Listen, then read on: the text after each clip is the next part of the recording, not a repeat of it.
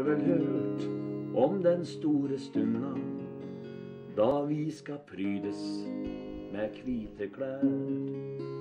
Det skjer når reisa er helt gjort unna, og vi skal møtes att bortom der. Om du er pave og jeg er pater, det blir det samme, det tror jeg minst. En direktør og en vanvør tater, da står de begge med lik gevinst.